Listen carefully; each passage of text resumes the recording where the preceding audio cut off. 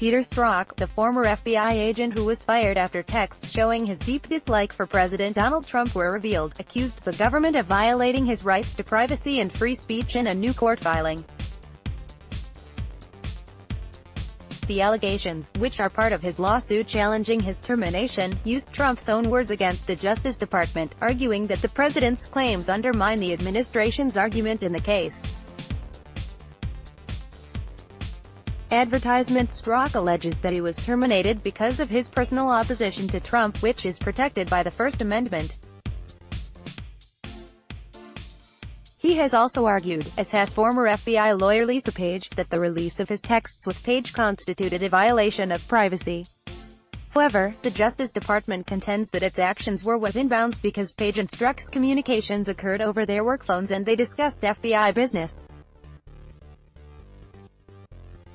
Page and Strzok's extramarital affair was exposed in the publication of the texts, a fact which Trump has exploited in his effort to demonize the pair as part of a supposed deep state conspiracy against him.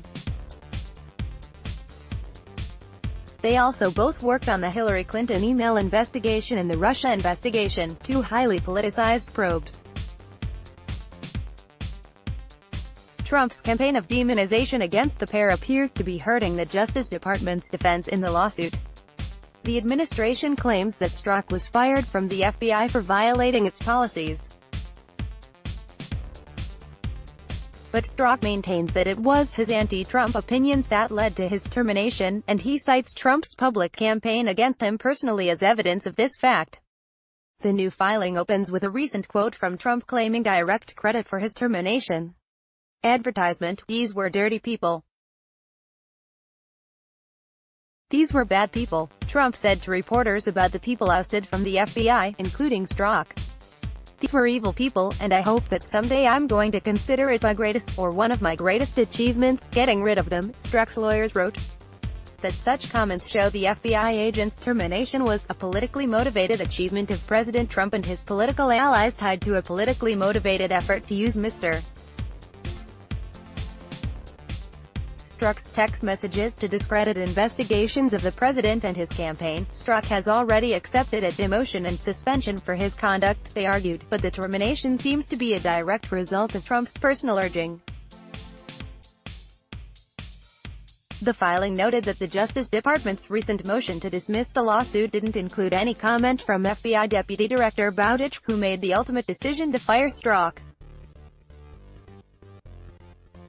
And it is still not known publicly who in the department authorized releasing Page and Strzok's texts into the media. That's something the lawsuit seeks to uncover. Advertisement Since Strzok was a high-ranking official, the department has contended that the standards on his speech are much stricter, so he cannot claim First Amendment protection for his anti-Trump comments. It is important that the FBI maintain a perception of fairness and impartiality, and since his comments undermine this perception, they are relevant to his job performance. But Strzok's lawyers countered that it was the Justice Department that decided to leak his texts to the media in the first place. After breaching his privacy in this way, they argued, the department can't then use the public distrust the breach on its part may have caused to justify terminating Strzok.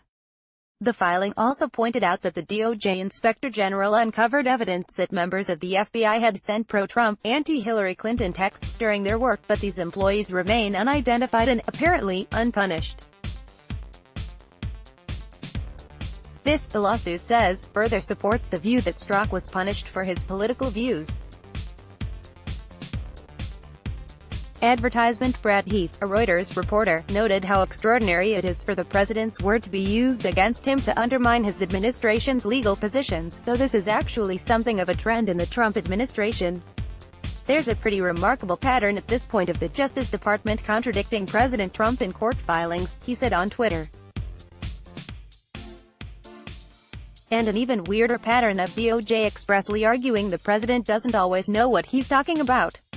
The fact that Trump is a well-known boaster and liar may actually help his administration in the legal context, though, judges may conclude that his statements cannot be treated as reliable guides to the facts of a matter.